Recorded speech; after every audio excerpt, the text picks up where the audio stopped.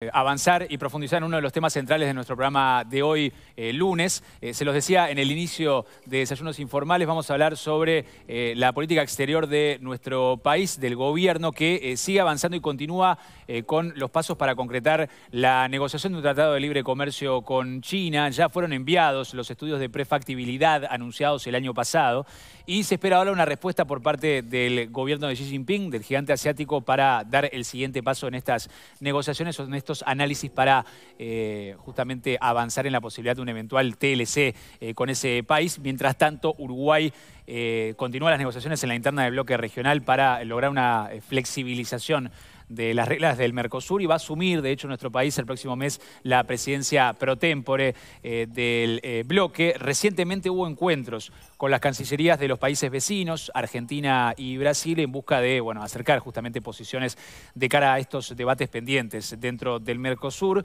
Y entre otros asuntos, Uruguay, eh, bueno, como les mencionaba, pretende esta flexibilización y se ha avanzado también en el, tema de los aranceles. Vamos justamente a analizar un poquito más, explicar un poquito más este último acuerdo que se logró con con Brasil y bueno, de todos estos temas eh, y alguna otra cuestión también de actualidad que tiene que ver con, la política exterior y con la política de nuestro país. Vamos a hablar con la subsecretaria de Relaciones Exteriores, Carolina H., que nos acompaña esta mañana aquí en nuestro programa. Bienvenida, H., gracias por acompañarnos. Por ¿eh? favor, muchas gracias a ustedes por la invitación. Bueno, un placer tenerla, con nosotros. Eh, en los últimos días, ya para, comenzar a, conversar sobre lo que, lo que se viene este, gestionando, negociando este, con, el bloque regional, bueno, el, canciller Francisco Bustillo se, reunió con, con, sus pares de Argentina y de Brasil eh, y este, bueno, se, habló de estos, de estos acuerdos, en particular logrados con Brasil por el tema del arancel para, las zonas francas y también, bueno, se sigue este, trabajando en la posibilidad de una flexibilización, eh, como ha manejado el gobierno uruguayo ya eh, desde hace ya un buen tiempo para lograr este, estos acuerdos bilaterales y en particular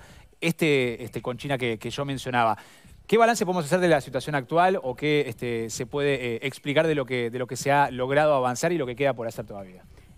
Bueno, eh, yo hago un balance muy positivo de todo el trabajo que viene haciendo el Ministerio, de todo el trabajo que viene haciendo el Canciller también en ese sentido y de los avances concretos que se vienen logrando.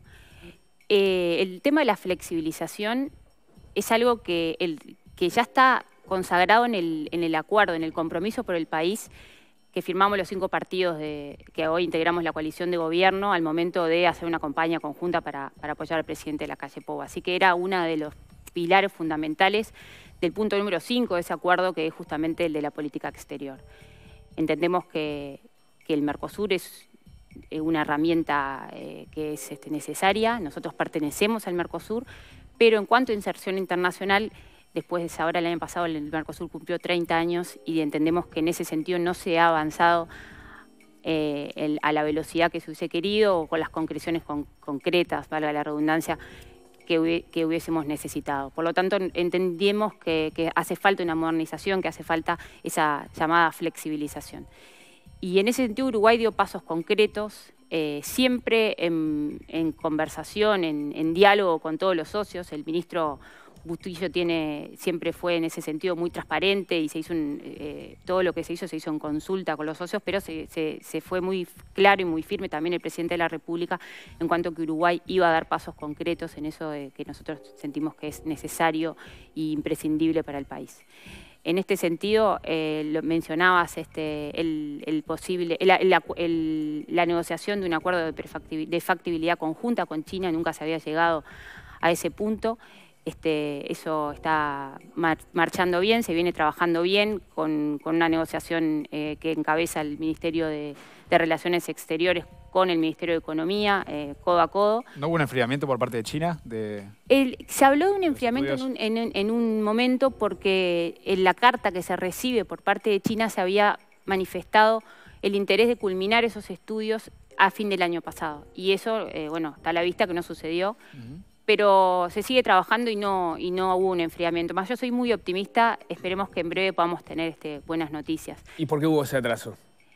Y este, por un tema más, más que nada del lado chino de, consultas internas. Nosotros ya, este, pero el intercambio nunca se paró, o sea, eh, quizás se fue una, una manifestación de interés, pero, pero nunca hubo un enfriamiento, o sea, como eh, un enfriamiento propiamente dicho. No se suspendió, digamos. No, nunca se suspendieron ni el diálogo, que es un diálogo que es más, este, también mantuvo el canciller con el canciller chino y, los equipos este, siempre fluido, pero sí, este, evidentemente no se llegó en el tiempo que en un principio se había dicho y eso puede haber dado lugar a que, bueno, sí, este, fue más lento de lo que hubiésemos esperado al principio, de lo que se, de lo que se anunció, porque eh, así se nos manifestó, pero los trabajos siguen y siguen firmes. Ahora, en, estas eh, reuniones que yo mencionaba que tuvo Bustillo con, con, Francia, con Cafiero, eh, ¿se avanzó o se, digamos, se acordó que, Uruguay va a hacer algún planteo específico ahora cuando asuma la presidencia pro tempore el, 21 de julio? O sea, nuestro país tiene, tiene previsto, este, digamos, eh, seguir adelante y desde ese lugar de,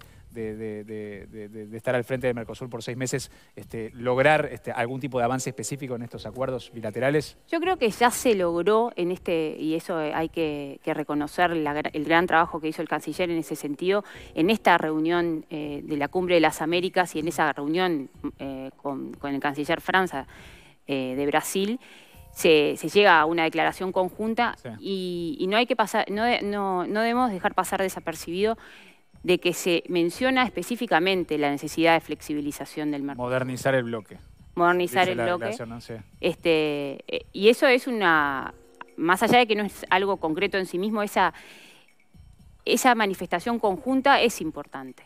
Es importante. Y también es importante otra cosa, que, que eh, otro acuerdo que se llega en esa declaración entre el ministro Bustillo y el, y el canciller Francia, que también es fruto de negociaciones que vienen de tiempo, y también este, participando en nuestra embajada en Brasil, economía, que eh, significa que las zonas francas, eh, tanto uruguayas como brasileñas, van a tener, este, eh, van a poder negociar sin arancel. Eso es un paso enorme. ¿Qué implica concretamente eso? ¿Beneficia en particular algunas empresas en particular? o, se, buscó por, por, eso justamente? Y, y en realidad, este, había. Nosotros, cuando se crea el Mercosur, las zonas francas quedan afuera. Mm.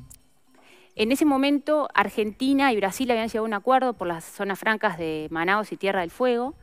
Y después, durante el gobierno de Mujica, había un acuerdo concreto entre la zona franca de Colonia y de Manaos por un tema de algunos productos en concreto, los eh, concentrados de bebidas, y ahí está la empresa que creo que es a la que te referís, PepsiCo. Ese acuerdo se renovaba año a año y se tendría que haber renovado en diciembre y se estaba demorado por, este acuerdo que se llega ahora, que, anuncia el, canciller Bustillo, se llega a un acuerdo que abarca no solamente a esos productos, a esas zonas en particular, sino al universo de las zonas francas uruguayas y brasileñas, a las que se puedan llegar a crear y sin un plazo, no se tiene que renovar año a año. Por lo tanto, es una noticia eh, muy buena que ya eh, implica en sí mismo una este, consolidación, digamos, de la zona de libre comercio, una va en pro de eso, y, que significa también posibles oportunidades para el Uruguay, porque el mercado brasileño es el mercado más importante de la región y eso puede llegar a ser interesante también para, posibles inversiones. Más allá... Una duda sobre ese punto, porque en las zonas francas en, en Brasil funcionan con la misma lógica que en Uruguay, o sea, se podría vender sin aranceles de una zona franca uruguaya a una zona franca brasilera, pero después, ¿qué pasa con, eso ahí? ¿En realidad sería para, para vender hacia el exterior o, o, podría terminar en el mercado brasilero? No, no, podría terminar en el mercado brasilero. ¿Y ya tienen información de empresas que se quieran instalar en zona franca? Y en realidad no tengo ese conocimiento, esto es todo muy nuevo y todavía este, hay un procedimiento que hay que seguir.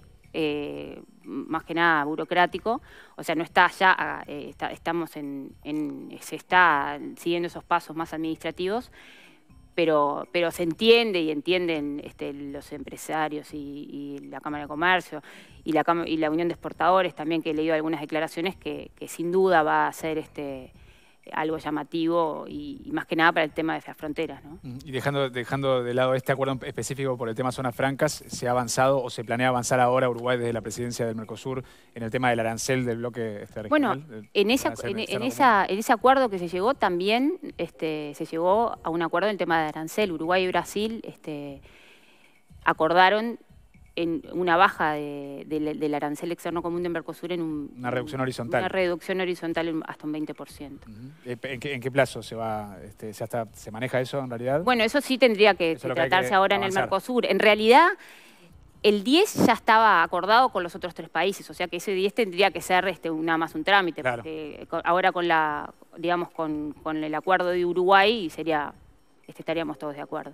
Y después al 20, bueno, este, se habrá que discutirse en, en la Mercosur. Uruguay mantiene, perdón, mantiene este, la, eh, digamos, tiene, tiene todavía, tiene claro o, o es algo que, que- que se mantiene de la misma forma el tema de que va a tener que tratar de convencer todavía, sobre todo a Argentina y a Paraguay, para avanzar en, en- en el tema de, de los acuerdos bilaterales por fuera del bloque. Es, es- ese proceso se está haciendo desde el, desde el primer momento. Pero hay, eso hay se avan- sigue. hay- pero hay avances en eso porque las últimas declaraciones, por ejemplo, desde Argentina no van en esa línea, digamos. Se Sin, embargo, ha declarado varias veces el, el ministro Bustillo que este, cuando él tiene esas, porque él este, hay un compromiso de ir este, a- eh, comunicando, Sí, de- sí. entonces eh, eso sí se está dando y la respuesta del otro lado eh, es positiva. O sea, no, no es un veto, digamos. Este, está, este, bueno, y habrá que seguir en ese camino, que es un camino de diálogo, de, de- de mucho diálogo y de, y de mucha negociación, ¿no? Me quedó pendiente una pregunta sobre el tema del TLC con China. Eh, por lo que tú decís, están a la espera de la información que China tiene que enviar. Pero quería consultarte si en algún momento se replantearon la posibilidad de, de este tratado, por lo que tiene que ver con eh, la cercanía de China con Rusia, la guerra, el planteo que hizo Ope Pasquet también de por lo menos revisar un poco cómo podría repercutir este tratado. No, nosotros este, no nos hemos hecho ese planteo. Eh, nos creemos que para el Uruguay es muy importante esta negociación, que es muy importante eh, el, posible, la, la posible concreción de esto, que esperemos que se, que se dé. Y no, no hubo ningún planteamiento en el sentido de, de frenar o de, o de replantearse la negociación. Usted- usted, de hecho, Sí, se tiene... este, ¿Perdón? No, no, no, adelante. No, no, no, sí, sí, dale. Usted, de hecho, en su momento este, planteó reparos sobre esa este, postura que, que manifestó Pepe Pasquet, sobre todo a la interna también del Partido Colorado y del sector de Ciudadanos. Nosotros tuvimos este, esta conversación también en el Comité Ejecutivo Nacional, pero el- creo que lo que tú te referís es a, a una carta que trascendió, si fue, Bueno, fue, sí, fue, claro. este, una...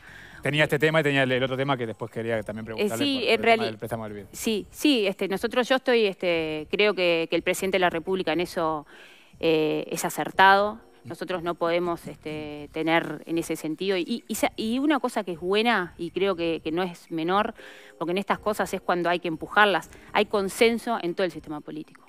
En los temas que en todo el sistema político hay consenso, que como es el tema de la, de la apertura del Uruguay, de, de- de concretar acuerdos, eh, quizás este gobierno ha sido más, eh, más activo, más proactivo, pero, pero el consenso de qué es lo que necesita el Uruguay es un consenso que está en todo el, en todo el espectro político.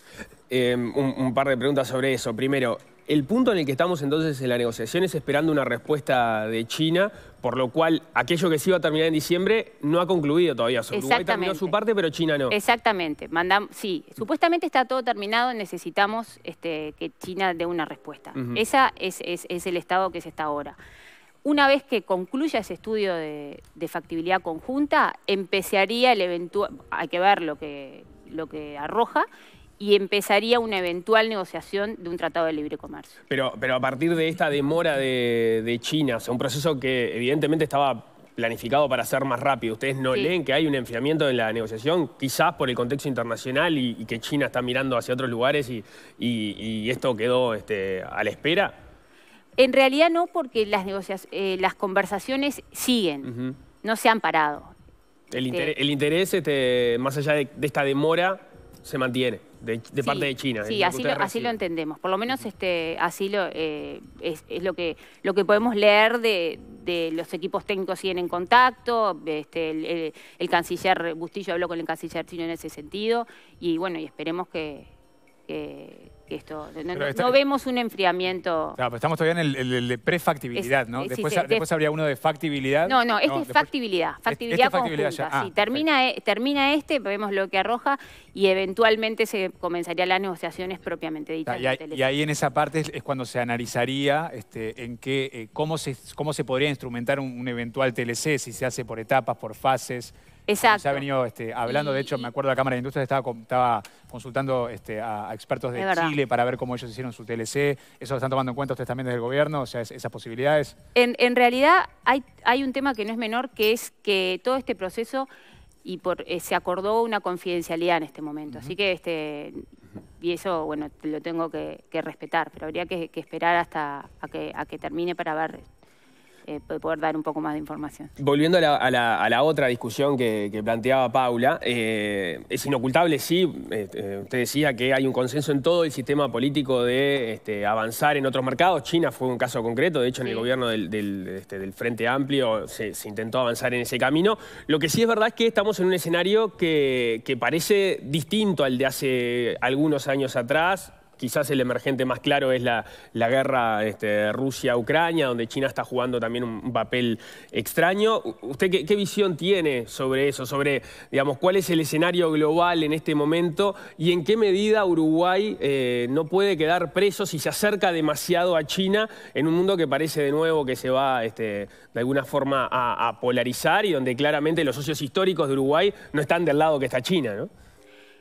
Evidentemente estamos en una situación donde con, esta guerra, con esta invasión rusa, ha cambiado mucho todo el tablero, ¿no? Eso es, eso es innegable. A ver, eh, eso también, y eso es importante porque ha habido, ha habido este, determinadas señales que indican también que la Unión Europea también está, estaría en una situación más favorable para repensar el acercamiento y para, para, el Uruguay. Nosotros no es que, y creo que lo dijo también el presidente, em, nosotros no, elegimos eh, solamente negociar con China. Nosotros estamos golpeando muchas puertas. Está también el tema, el, estudio de, con Turquía y, y se está trabajando en muchísimas áreas.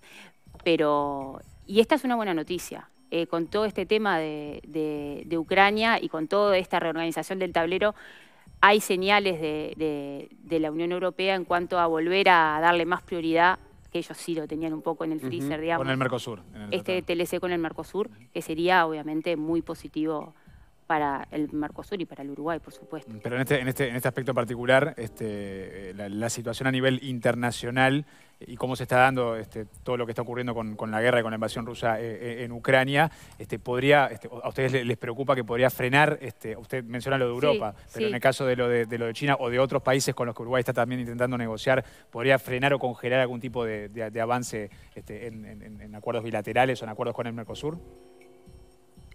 Mire, eh, mira, este, yo creo que si nosotros miramos el mundo y, y las negociaciones eh, de China con el mundo, sean del, lugar donde sean, a partir de lo que está pasando en Europa, yo no encuentro un país que haya frenado o que haya ido para atrás, todo lo contrario. Y hablemos de Israel, de Panamá, de Ecuador. Entonces, este, yo creo que hay que mirar un poco también eso.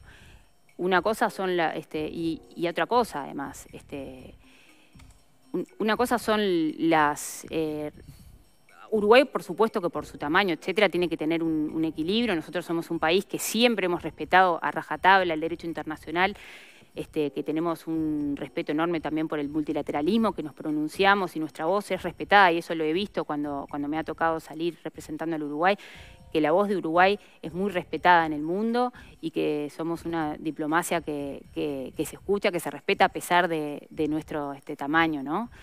Pero, pero este, eso no significa, yo creo que hay que separar, uno tiene que ver, velar por los intereses de, nuestro país y sí tratando de, obviamente, de, diversificar en lo posible y lo más posible también. Tú mencionabas recién la, eh, a Turquía, ¿no? ¿En qué está el, avance de las eh, negociaciones con Turquía Están en contacto este, los técnicos, están por tener este, una reunión ahora en breve y, también, bueno, este, está, se está arrancando, ¿no? ¿Va a seguir negociando el canciller mano a mano entre cancilleres? No, en realidad este hay también el mismo equipo técnico que hay este para, el mismo equipo, perdón, negociador que está para, para China con este, el Ministerio de Relaciones Exteriores en, la figura del embajador eh, López Fabreat y Juan Labraga en Economía. En economía. Después del incidente en el que el canciller turco, bueno, ya todo el mundo lo sabe, ¿no? Tuvo un, gesto racista con los manifestantes armenios en Uruguay. Em, ¿Algo cambió las negociaciones por parte del, gobierno uruguayo, por lo menos, a, bueno, en fin, alguna señal como para que eso no vuelva a suceder? No, eso sí, este, por supuesto que fue muy claro. Se pronunció desde el presidente de la República. Sí, pero en la interna, te digo, en las negociaciones internas, más allá de los pronunciamientos públicos. En, las negociaciones propiamente, eh, eh, en lo que hace al, posible negociación de un TLC mm. o a la negociación del TLC, eso sigue su carril. O sea, se llamó a consulta al embajador de Turquía en, su momento para manifestarle la, molestia de Uruguay con, el gesto del canciller. Exacto. Y el tema quedó laudado para el gobierno uruguayo, según se dijo en su momento. exactamente, exactamente. Del propio canciller. o sea, eso en realidad ya, está, ya pasó y se, sigue avanzando de la misma forma en las negociaciones con, Turquía. Exactamente. ¿A ustedes no, les quedó como cierta preocupación de, lo que dejó el episodio para la imagen de Uruguay a nivel internacional? Que también, este, porque estamos hablando de un gobierno que ha sido cuestionado este, por otros gobiernos, por ejemplo, europeos, este, por lo que tiene que ver con el tipo de gobierno que es, por este tipo de expresiones que son, este, este, digamos, este, hasta racistas o, en contra de algunos grupos no, específicos. Yo creo que la posición de Uruguay con respecto a esa causa es clarísima. Es clarísima. La causa armenia, dice. La causa armenia es clarísima tradicionalmente y la respuesta del gobierno uruguayo en este caso también fue muy contundente. Así que yo creo que todo lo contrario, que en todo caso este, en la imagen del Uruguay no se vio este, de ninguna manera eh, perjudicada. Quiero preguntarle, H, si me permite, por, por un episodio que, estamos viviendo ahora que tiene que ver con este, este polémico avión este, venezolano-iraní que está retenido en, Buenos Aires. Ya se han dado explicaciones por parte del presidente, del ministro de Defensa, sobre la postura que adoptó Uruguay y que, mantiene. ¿De ¿Cancillería jugó algún papel en todo esto, en, todo este episodio? Yo prefiero que, está por este, ir al Parlamento el, Hoy, el, ministro, por eso prefiero que las declaraciones las haga él como corresponde en el en el, en el Parlamento. pero usted tiene algún, tipo de, opinión sobre lo que ha ocurrido, sobre todo en el manejo de, este, y en, la crítica de Venezuela hacia el gobierno uruguayo, me refiero, en el tema diplomático. No, me hago mías las palabras del presidente de la República. Ajá que en, cuanto a que no, que no hubo ese riesgo y que bueno, que el Uruguay estaba en su capacidad soberana y legítima de, hacer lo que hizo. ¿Nos llama un poco la atención que desde Argentina se hable de, haya tanta como este, información contradictoria sobre la, identidad del, presunto integrante de la Guardia Revolucionaria iraní que, era piloto del avión? No, sin duda es un caso complejo, polémico, pero por eso mismo prefiero que, si está por ir este, el ministro García al Parlamento sea él quien explique en dónde corresponde y no... Este, meterme yo en el tema. Bueno, está bien. Eh, me, quedó una duda respecto al encuentro que, que se tuvo con, las autoridades este, brasileñas y, esa mención que usted este, valoraba a propósito de hablar de la flexibilización del, bloque.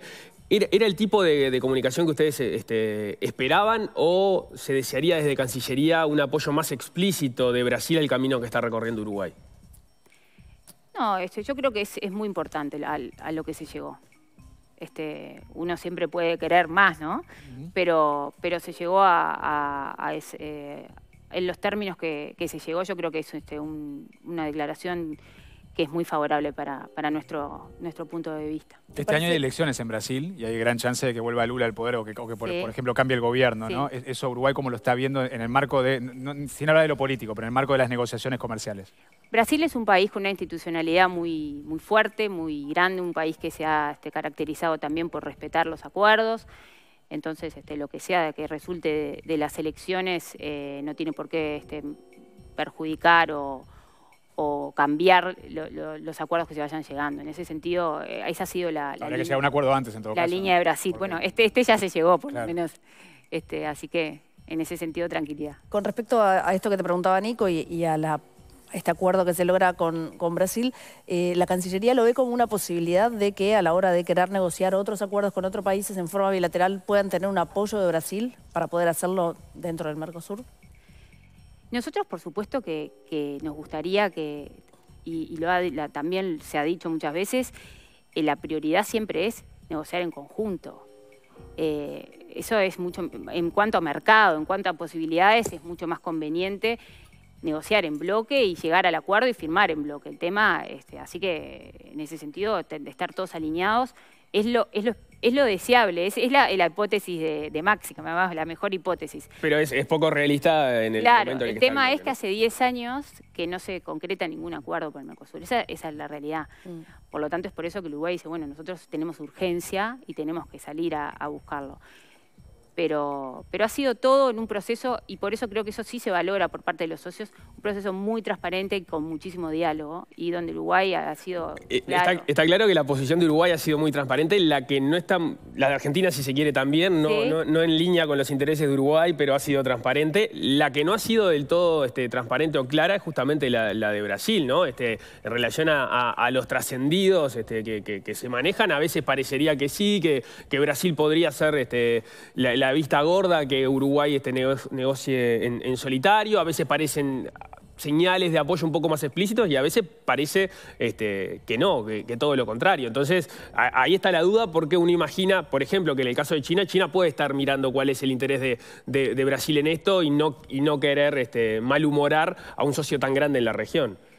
Bueno, está, existen esos trascendidos, pero yo creo que me quedo con esta declaración conjunta de los cancilleres, que es lo concreto y que es este, clara en el sentido de, digamos, de un guiño hacia la posición este, uruguaya.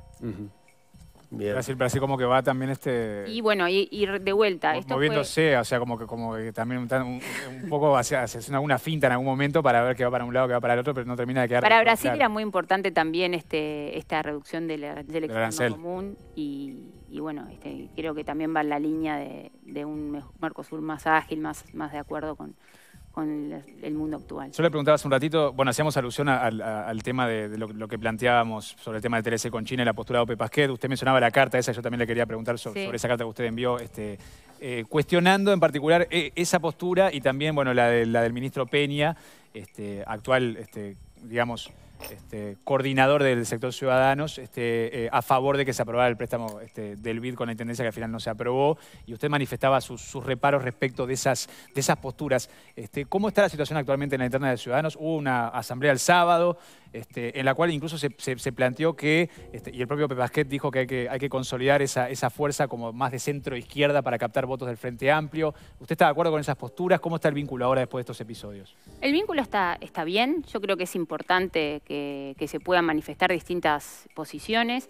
La idea, obviamente, no era eh, que trascendiera la prensa, pero bueno, fue lo que, sucedió. Yo tengo una excelente relación con Adrián Peña, que además tengo que decir que es un gran coordinador del sector, porque si el sector está eh, hoy en día consolidado después de la salida de Ernesto Talvi, cuando creo que si había que apostar, nadie apostaba que iba a sobrevivir unido, es por un gran trabajo de Adrián, que fue quien además eh, hizo toda la construcción política del sector y, tuve una conversación con él después de, esa carta que se envió, que además eh, la idea era que quedase a la interna, y, es, una persona muy articuladora, muy... Este, él, me manifestó, bueno, que él entiende que puede haber distintas posiciones, que eso es sano en un sector, y, bueno, es un tema que para mí está cerrado. Hablamos del tema con él y, está todo, este, todo claro y todo cerrado. Va a seguir en el sector. Yo estoy en el sector. Eso, no, está, no está en duda para nada, para usted.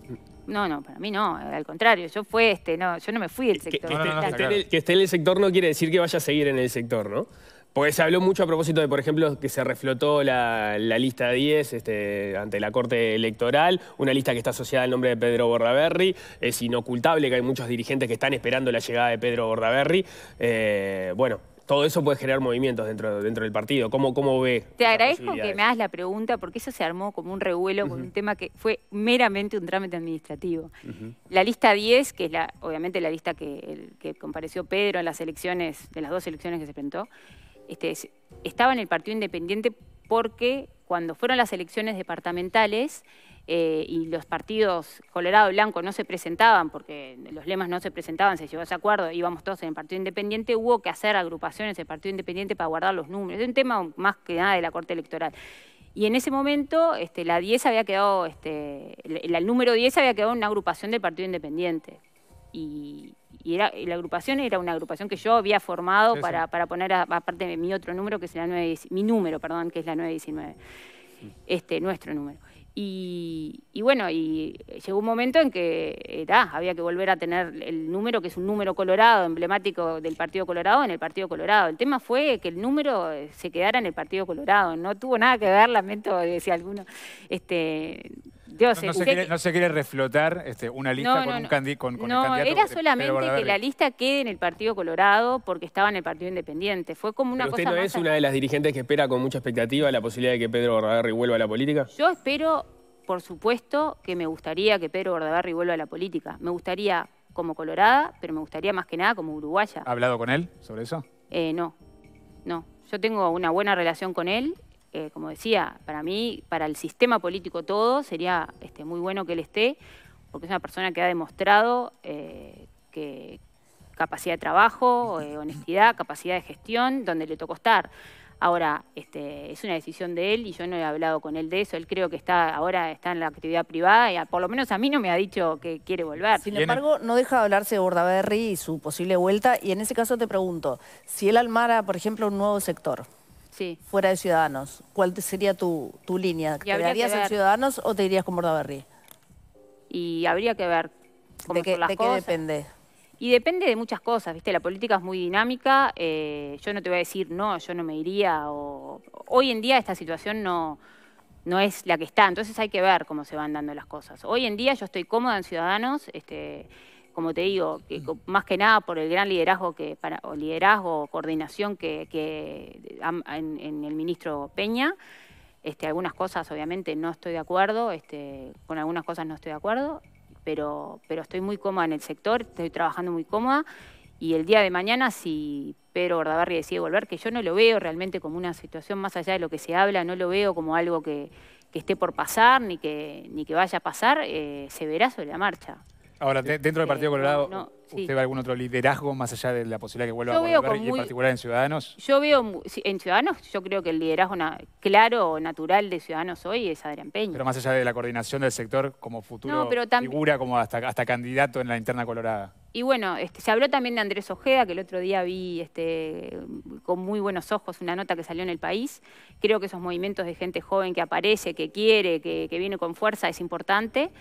Pero como digo, no es no son momentos de tantos de hablar de candidaturas. A esta altura, eh, si miramos a esta altura, antes de la elección pasada, no teníamos a Ernesto Talvi, no teníamos a Sanguinetti, que fueron nuestros candidatos en el Partido Colorado, no estaba Sartori, no estaba Manini. O sea que lo que se hablaba era no fue, no tuvo que ver con lo que realmente después pasó a nivel de candidatos. Pero Ciudadanos quiere diferenciarse bien de ballistas, por ejemplo, me refiero a lo que hablaron en esta última asamblea. O sea, es, esa búsqueda de votos de frente desencantados o de votantes frente desencantados, ¿la puede hacer mejor Ciudadanos que ballistas en la interna del, Partido Colorado? Yo, no, no pienso eso. ¿No? No, yo no pienso eso. Yo pienso que eh, el partido tiene que el partido es grande cuando tiene mucha representación, cuando se representa. El, Ciudadanos er, tuvo una, una, Ernesto Talvi fue muy importante para Ciudadanos, hoy Ernesto Talvi no está.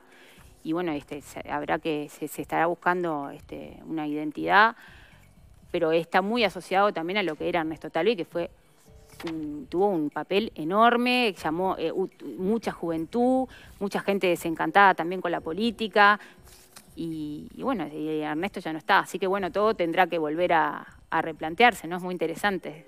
Sí, evidentemente eh, el Partido Colorado necesita un líder porque posiblemente Sanguinetti no vuelva a competir por la presidencia y el otro líder que, era tal ya no está, entonces tenés a Adrián Peña por un lado y por ahora no se ve nada más, salvo esta posibilidad de que volviera Bordaberry. ¿O hay alguien más que vos estás viendo? Yo veo mucha gente en el gobierno trabajando muy bien. Y eso es un activo que tenemos. Ese, el tema es que, bueno, ese momento también de, hacer gestión y de trabajar, ¿no? Pero, pero veo, veo, veo cuadros colorados haciendo muy buen trabajo en muchos lugares del gobierno. Antel, ANEP, eh, ministerios. Robert eh, Silva eh, sería una posibilidad entonces para ti. Y bueno, Robert Silva es alguien que se, ha, que se habla de que podría ser una posibilidad y bueno, está, este, podría ser. En, todo caso, en todos esos casos, o en esos dos casos, ante la NEP implica este, medio que ponerse en carrera ahora, ¿no? Está, este, hasta el año que viene es el último... En el Ministerio de Turismo está haciendo un gran trabajo también eh, Tabareviera. Y bueno, hay que ver, hay que ver cómo, cómo, pero va a depender mucho de lo que, de lo que pase también en, en, el gobierno. Y, y, a Sanguinetti, este, que obviamente no va a volver a ser candidato, pero podemos decir que, es un gran secretario general que tenemos y que es un, digo, que está por encima de, un tema sectorial con toda esa experiencia que tiene. Yo creo que, podemos, tenemos que estar agradecidos de que le ponga esa garra, esa fuerza a la edad que tiene. Muchos dirigentes jóvenes este, no tienen esa, esa capacidad de trabajo y esa capacidad de militancia que ha demostrado este Sanguinetti. Tenemos que cerrar, este, subsecretaria, cortito en el final, este, ¿tiene opinión sobre lo que pasó en las elecciones en Colombia? El presidente no, no, se ha expedido sobre la victoria de Petro todavía. Este, no, bueno, que fue, este, habló el pueblo colombiano, tienen un nuevo presidente, así que cabe felicitarlos, desearle éxito en su gestión, que el éxito en su gestión va a ser el éxito del pueblo colombiano y bueno y, para bien también de para la, vínculo con Uruguay de la región nosotros procuramos tener los mejores vínculos con con los países y más que nada con los miembros, con los pertenecientes a nuestra región. Así que le deseamos mucho éxito en su gestión. Muy bien, vicecanciller este, Carolina H., muchas gracias por acompañarnos, ha sido un placer. No, ¿eh? muchas gracias a ustedes. gracias. Buena jornada, Muy nos vemos amable. pronto. Hacemos la primera pausa, amigos.